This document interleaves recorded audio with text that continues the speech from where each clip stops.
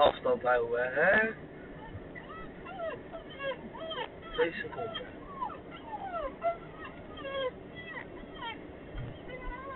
Let van voorop.